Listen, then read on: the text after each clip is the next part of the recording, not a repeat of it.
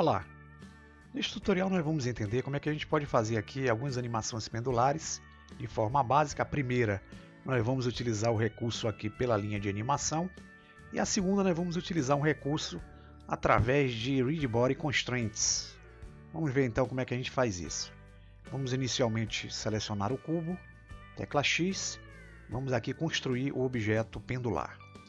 Shift A, uma mesh do tipo UV esfera e com a nossa esfera eu vou aproximar aqui com o botão do meio, vou pressionar o botão e dar um giro orbital e vamos entrar com esse objeto no modo Edit Mode.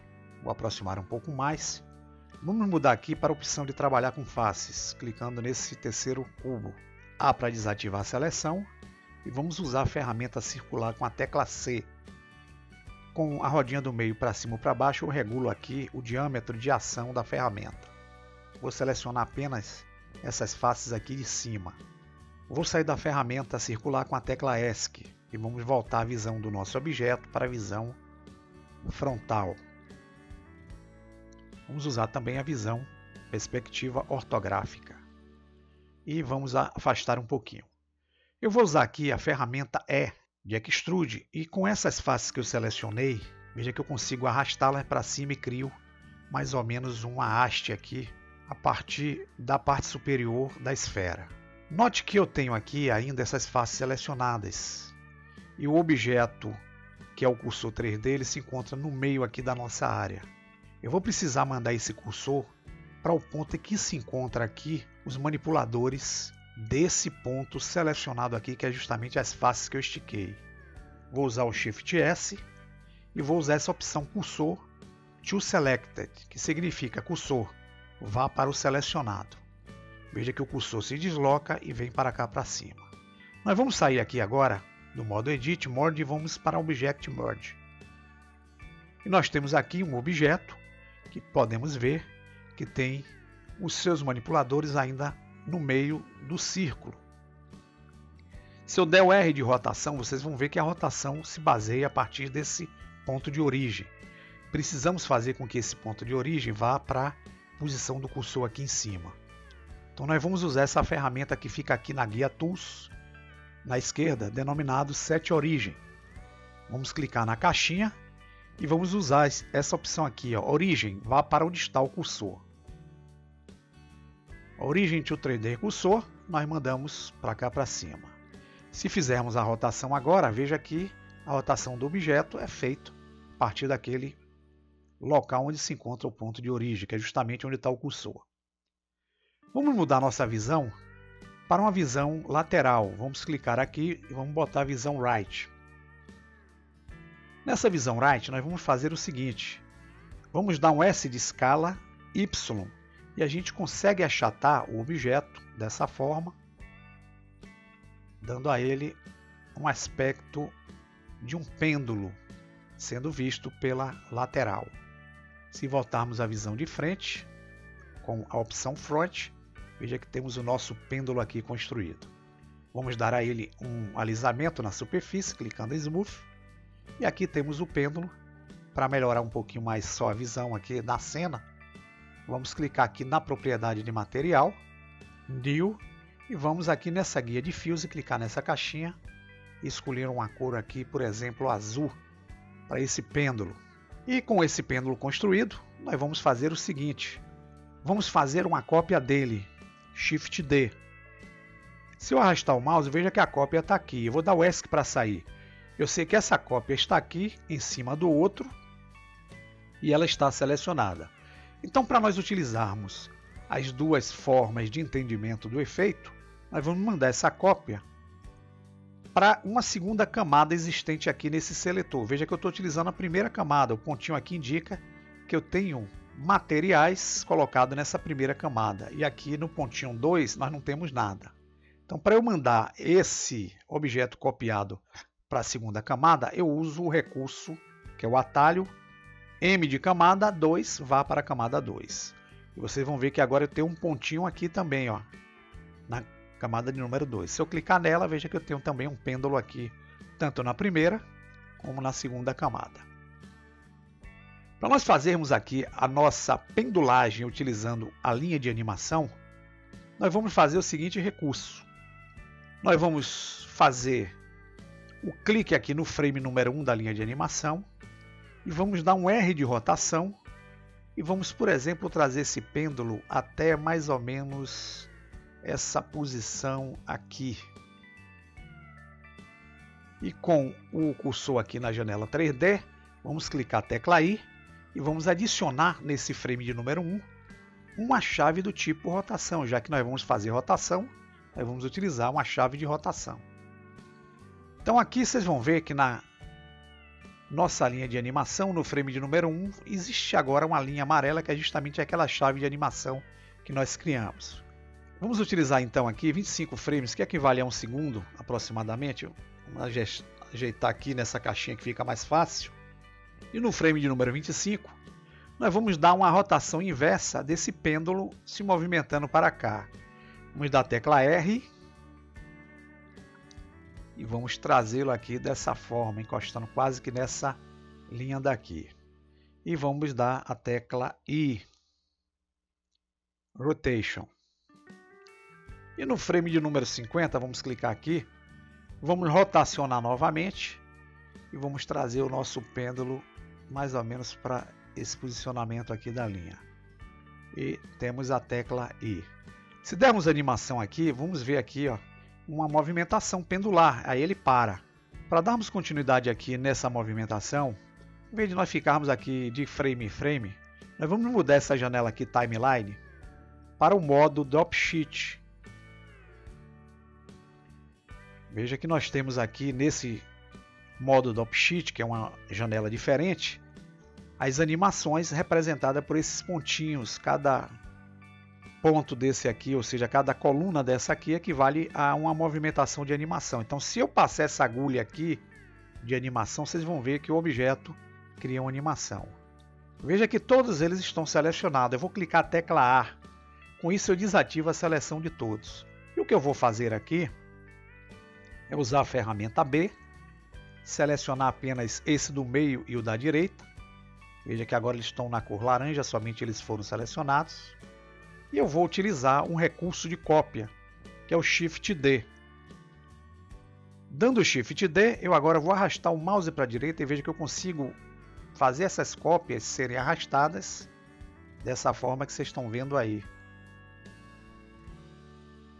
E tendo feito esse arraste, eu posso usar agora a tecla Shift R que me permite eu dar continuidade a esse efeito que eu fiz anteriormente. Então, usando Shift R, eu repito ó, essas cópias nas demais posições de frame.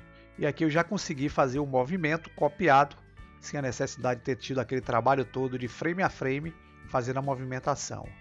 Voltando à timeline, que é a nossa janela de tempo, veja que agora aqui eu já tenho uma diversidade de linhas amarelas. E se eu der animação, vocês vão ver o nosso pêndulo aí funcionando de forma sistemática de acordo com aquela animação feita. Bem, já vimos aqui como fazer a pendulagem utilizando simplesmente a linha de animação.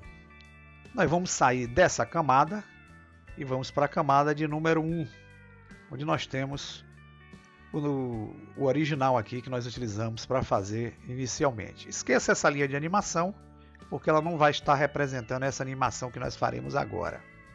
Então o que é que nós vamos fazer inicialmente? Nós vamos selecionar esse pêndulo, vamos dar para ele uma rotação para que esse pêndulo fique nessa posição aqui, vamos trazê-lo um pouco mais para cá, para termos um melhor entendimento. E aqui onde eu tenho um cursor 3D, nós vamos adicionar com Shift A um objeto Mesh UV Esfera também. Vamos diminuí-lo com a tecla S. Esse objeto aqui ele vai ter a funcionalidade de fixar o constraint que nós utilizaremos para fazer a pendulagem desse objeto.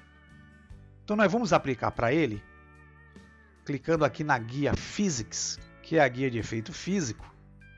Vocês vão ver que eu tenho aqui as opções Read Body Tools. Essas mesmas opções vocês vão encontrar aqui na barra de propriedades da direita. Se eu clicar aqui nesse ícone de bolinha de ping-pong, que é o ícone de efeitos físicos, vocês vão ter aqui essa opção, essa opção chamada Read Body. Veja que quando eu vier aqui na esquerda e clicar dando uma condição de objeto ativo, vou clicar aqui Active, ó, o objeto fica com uma linha aqui, vou clicar tecla Z para vocês verem, de forma verde, verde bem clarinho, mais para o azulado, tá?